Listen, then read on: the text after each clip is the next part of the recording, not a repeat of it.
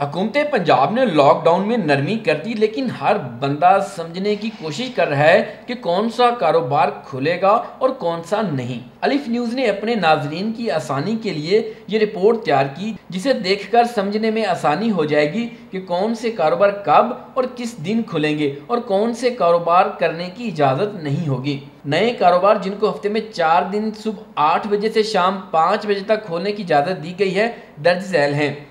तामीराती शोबे से व्यवस्था स्टील, पीवीसी पाइप, बिजली की मसनूआत एलुमिनियम और स्टील की मसनूआत बनाने वाले श्रामिक्स और पेंट की सनत सैनिटरी और पेंट की दुकानें hardware store steel aluminium PVC की दुकानें एक्सपोर्ट से मुतलिक तमाम सनती यूनिट नेगेटिव लिस्ट के सिवा तमाम सनती यूनिट रिटेल का कारोबार करने वाली तमाम दुकानें hair salon gym barber shop शामिल हैं।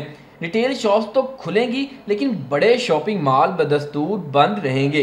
रिटेल शॉप्स की मजीद वजाहत करते हुए एक सरकारी अहदेदार ने बताया कि इसमें कपड़े, जूते की दुकानें, धोबी, दर्जी वगैरह सब शामिल हैं, जो छोटे पैमाने पर कारोबार कर रहे हैं। नए एस के मुताबिक हर दुकान सनत कारखाने में तमाम तर हिफाजती इकदाम लाजमी करना होंगे। हफ़्ते में सात दिन सुबह नौ से शाम पाँच बजे तक खुलने वाले कारोबार दर्ज झैल हैं। तमाम ग्रोसरी स्टोर जनरल स्टोर किराना शॉप्स बेकरीज आटा चक्की, दूध दही की दुकानें, गोश्त की दुकानें, सब्ज़ी फल की दुकानें, सब्ज़ी और फल मंडी, अजनास मंडी, मवेशी मंडी, तंदूर नानबाई और ऑटो वर्कशॉप्स सुबह नौ से शाम पाँच बजे तक हफ़्ते के सातों दिन खोलने की इजाज़त होगी। हफ़्ते में सात दिन और चौबीस घंटे खुलने वाले कारोबार दर्ज झैल हैं।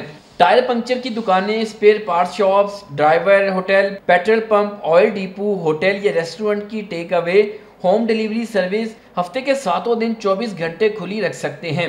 हफ़्ते में सात दिन सुबह नौ से शाम सात बजे तक खुलने वाले कारोबार दर्ज झैल हैं। पोस्टल सर्विस कोरियर सर्विस खोले गए शोबों के लिए पिक एंड ड्रॉप और मुतलका गाड़ियों की बैन सूबाई नकलो हरकत की हफ़्ते के सातों दिन सुबह नौ बजे से शाम सात बजे तक इजाज़त होगी। वो शोबे जिन पर पाबंदी बरकरार रहेगी, दर्ज झैल हैं। हुकूमती नोटिफिकेशन के मुताबिक तमाम बड़े शॉपिंग मॉल, तलीमी इदारे होटल या रेस्टोरेंट के अंदर खाना या क्याम करना, शादी हॉल या मार्केट सिनेमा और थिएटर और बड़े इज्तमाल पर पाबंदी बरकरार रहेगी। और इसकी मुद्दत इकतीस मई तक बढ़ा दी गई है। वामी इज्तम मजहबी इज्तम खेलों के मुकाबलों कॉन्सर्ट्स वगैरह पर भी बदस्तूर पाबंदी रहेगी। इसके साथ साथ पब्लिक ट्रांसपोर्ट पर भी फ़िलहाल पाबंदी रहेगी। सिर्फ़ ऑटो रिक्शा चिंगची रिक्शा चलाने की इजाज़त होगी। पब्लिक ट्रांसपोर्ट के हवाले से फैसला ट्रांसपोर्ट समेत तमाम स्टेक होल्डर से मुशावरत के बाद किया जाएगा। बैन जलाई और बैन सूबाई पब्लिक ट्रांसपोर्ट चलाने वालों से कहा गया है कि वो एस ओ पी तैयार करें।